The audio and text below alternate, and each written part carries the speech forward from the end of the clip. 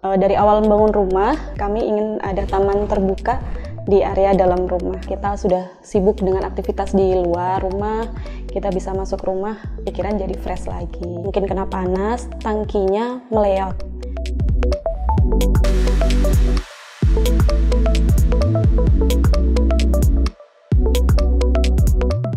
Halo, perkenalkan nama aku Mirna, pekerjaan aku sebagai ibu rumah tangga.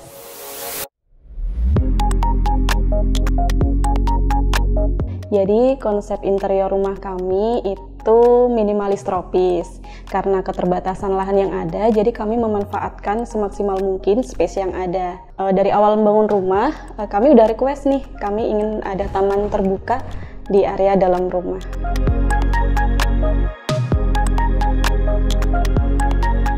Kebetulan kami banyak menggunakan warna putih dan warna kayu. Warna putih agar terkesan luas, untuk warna kayu agar terkesan natural aja.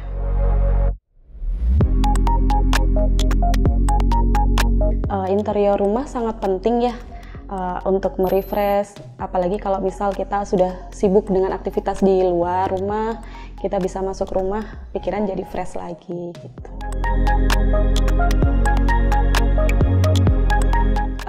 Yang perlu diperhatikan kalau menurut saya itu pertama sirkulasi udara, uh, kemudian kelistrikan juga penting, terus kualitas air dan ketersediaan air bersih dalam rumah.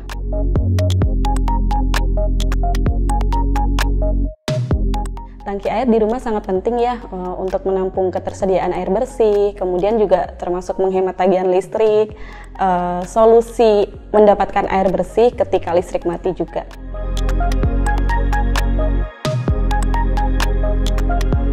Oke, ada beberapa kemungkinan. Uh, kemungkinan pertama karena tangkinya meleot. Kejadiannya siang hari, mungkin kena panas, tangkinya meleot, kemudian airnya uh, jatuh gitu, airnya tumpah ke bawah. Lalu kemudian dari dak-dakannya juga dia nggak ada pengaman pinggirannya.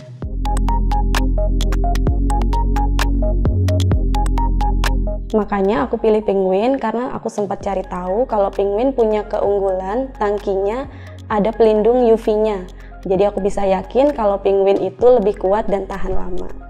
Terus ada bebas lumut, anti mikroba, garansi sampai 38 tahun, dan banyak pilihan warnanya.